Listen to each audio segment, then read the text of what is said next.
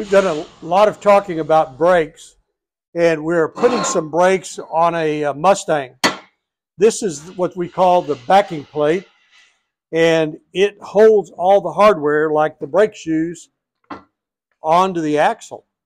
So on many of these backing plates, these landing places where the back, actually the brake shoe rides, actually deteriorates and gets big divot grooves in it. And, and so we weld them up here and then grind them back down so that the brake shoe has a smooth place to ride. So now you can see the back side of them where they actually rub right here.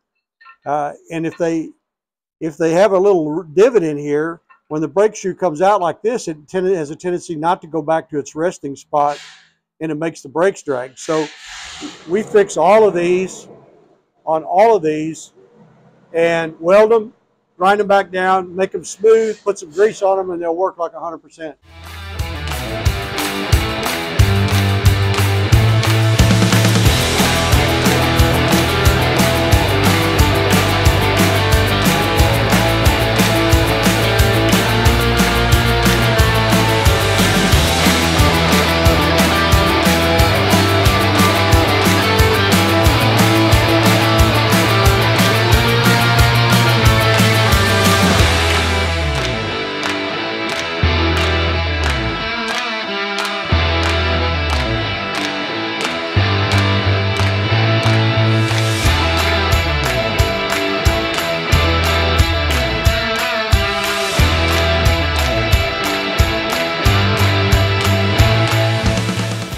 These are hard to find, so we have to take care of fixing them here.